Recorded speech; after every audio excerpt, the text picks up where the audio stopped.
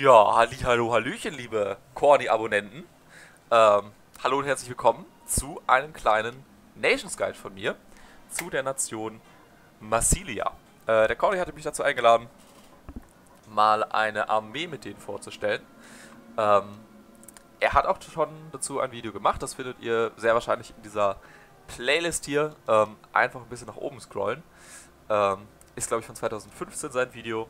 Und da hat er eine relativ Standardarmee mit Massilia gezeigt, ähm, die auf jeden Fall so funktioniert. Ich bin auf jeden Fall heute hier, um euch mal meine Variante zu zeigen, äh, wie ich gerne Massilia spiele und es auch schon gespielt habe, äh, unter anderem im letzten ROL-Turnier. Ähm, also dann im vorletzten, wie auch immer. Auf jeden Fall äh, ist es eine kleine Rush-Armee. Ich werde natürlich nochmal insgesamt auf die Nation eingehen. Ähm, aber natürlich dann den Fokus auf die Einheiten legen, die ich auch wirklich spielen will. Massilia, was ist das für eine Nation? Ähm, die meisten von euch wissen, das ist dieser kleine, ähm, ja fast schon Außenhandelsposten links von Italien. Ähm, also äh, das ist eine kleine Kolonie, eine griechische Kolonie.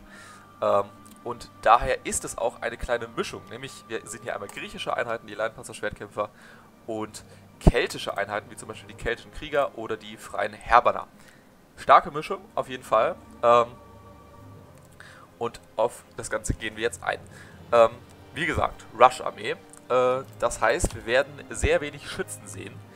Ähm, da haben sie zwar eine, ich sag mal, mittelmäßig gute Auswahl hier. Also Kälte Steinstatter, normal, normale Einheit. Die Peltasten, ne, auch eher eine Standardeinheit und die gallischen Söldner, Jägersöldner relativ teuer, aber das liegt daran, dass sie Schleichen und Guerilla-Aufstellung haben. Äh, die werden wir heute aber alle nicht benutzen. Ähm, wir werden uns stattdessen auf die Kavallerie konzentrieren und auf die Infanterie. Ähm, so.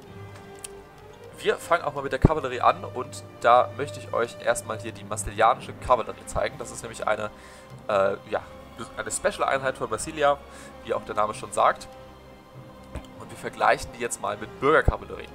Und wenn ich jetzt mal immer hier und hin und her gehe, sehen wir schon, das Einzige, was die Bürgerkavallerie wirklich besser macht, ist die Rüstung. Und ein bisschen der Waffenschaden.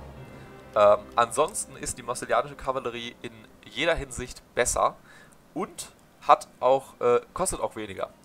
Das heißt, die ist deutlich, deutlich preiseffektiver. Äh, und mit Marsilia würde ich niemals Bürgerkavallerie spielen. Ich würde immer die marsilianische Kavallerie spielen. Besonders hier der Bonus gegen Groß für 15 macht es, eine, macht es zu einer sehr guten Anti-Kaff-Einheit. Äh, die leichte Kaff ist auch nicht schlecht. Ähm, wenn wir sehen, auch da sind sogar, die haben manche Werte sogar auch nochmal noch besser. Also Nahkampfabwehr, Nahkampfangriff zum Beispiel. Ähm, ich persönlich würde aber hier ausschließlich auf die marsilianische Kavallerie setzen, ähm, die hat eine bisschen höhere Gewichtsklasse, das heißt, die macht mehr Charge, Damage und vor allem hier wegen dem besseren Bonus gegen Groß ähm, und der Moral ist es einfach eine solidere Einheit. Sie darf nur nicht beschossen werden. Das ist wichtig bei denen. Aber davon können wir auf jeden Fall schon mal vier mitnehmen. Ähm, und dann passt das. Ich nehme jetzt erstmal eine Standardlinie aus Leinpanzer-Schwertkämpfer mit. Eventuell ändern wir das nochmal. Ähm, aber wir schauen jetzt erstmal. Also, wir gehen jetzt mal von maximal 9 mal Nahkampfinfanterie aus. Ähm, dann sind diese Einheiten auf jeden Fall sehr gut für euch. Ihr könnt auch die Axtkrieger mitnehmen, also ihr könnt auch sowas zum Beispiel machen. Das kommt aber wirklich auf die Nation an, gegen die ihr spielt. Ähm, das würde ich euch jetzt freilassen, was ihr da lieber nehmt. Das sind beides starke Einheiten. Die Axtkrieger sind besonders gut gegen Rüstung. Also wenn ihr zum Beispiel gegen Rom spielt oder Athen oder, ähm, wie heißen sie? ADA, auf jeden Fall die Axtkrieger. Ähm, wenn ihr eher gegen Barbaren spielt, würde ich euch die keltischen Krieger empfehlen. Ich nehme jetzt hier mal eine Mischung mit. Ähm, so, Lanznepais, ähm, auch sehr gut. Ich würde die nicht wirklich fürs Kavalleriegefecht benutzen. Die besiegen da auch die meisten billigen Einheiten. Äh, aber da wäre bei mir auf jeden Fall der Fokus auf ähm, Töten, also auf Infanterieeinheiten töten. Ähm, und weniger darauf, da die im lang anhaltenden Nahkampf zu lassen.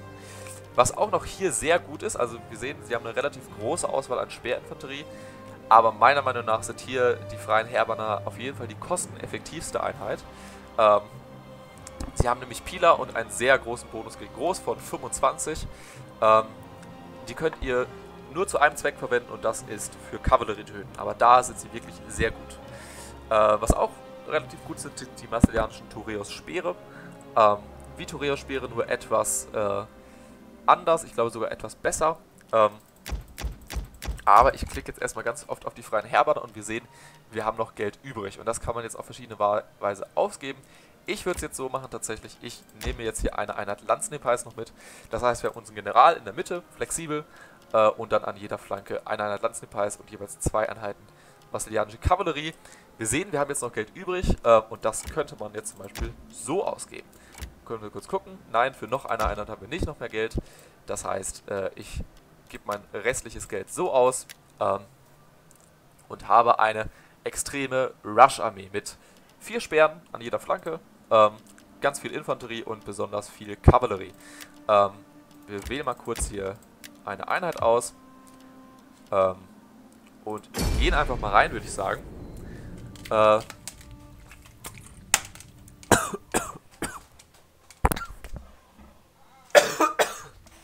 Oha, Lord am Sterben.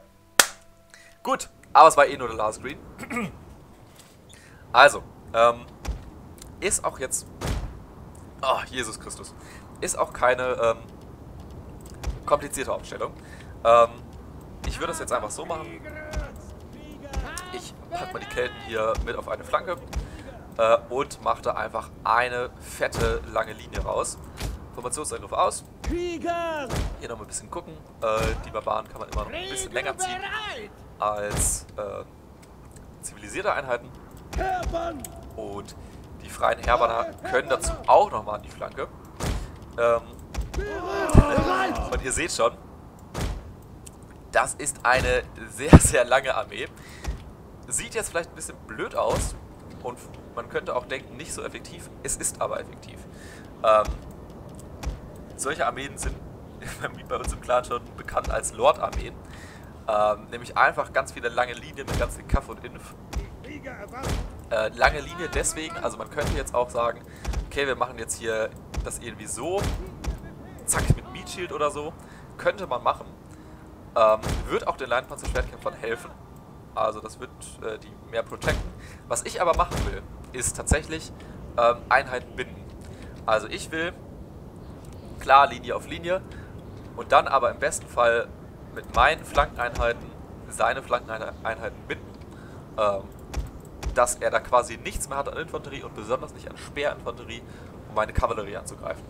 Und wenn das passiert ist, also wenn, wenn ich quasi alles im Nahkampf habe, dann kommt meine Kavallerie rum. Dann kommt meine äh, Massilianische Kavallerie, die ja eine sehr gute Anti-Kaff-Kavallerie ist, auf seine Kavallerie. Also nehmen wir mal an, er ist Averna, hat zweimal schwere Kaff oder einmal schwere Kaff, dann geht er halt, dann geht man da mit der Massilianischen Kaff drauf und dann sollte man sehr sicher seine Lanzenpass noch frei haben, um in den Rücken zu gehen. Weil die allermeisten Spieler spielen gar keine Schützen. Äh, die, aller, die, die, wenigsten Spieler spielen gar keine Schützen. Das heißt, jeder hat eigentlich immer so, ja, zwei bis sechs Schützen dabei. Ähm, das heißt, er, man wird, der Gegner wird nicht genug übrig haben, um diese ganze Masse an Infanterie und ähm, Kavallerie im Nahkampf zu blocken. Ne? Das heißt, sobald man quasi überall am besten gleichzeitig äh, den Gegner blockiert, festhält, dann kommen die Lanzen im Preis und dann räumt man auf. Äh, und das können die wirklich gut. Dann geht man den Rücken, am besten immer schön abwechseln, bam auf die Schützen, dann wieder die Linie, dann wieder die Schützen, dass die Schützen auch alle weg sind. Ne? Die Linie quasi entlangfahren von beiden Seiten. General kann man sich jetzt noch aussuchen, ähm, den würde ich eher defensiv hinten lassen und dann mal gucken, wo man ihn einsetzen kann. Man kann ihn aber auch mit auf eine Flanke nehmen, vielleicht sogar da, wo noch die keltischen Krieger stehen, hier zum Beispiel. Dass man hier eine sehr aggressive Flanke hat, geht auch. Ähm, ja, und obwohl quasi eigentlich die einzelnen Einheiten von dieser Fraktion dann gar nicht so gut sind, also ich, ich beziehe mich jetzt hier auf die Linie, also Leinpasse-Schwertkämpferlinie ist eher Standard, ähm, da wird man nicht wirklich durch reiner Power durchkommen, aber allein dadurch, dass man so eine Masse an Nahkampfeinheiten hat, kommt man dann rum, kann mit den Lanzenpeisern rücken und hat sehr gute Win-Chancen. Gut, ähm, das war meine Armee.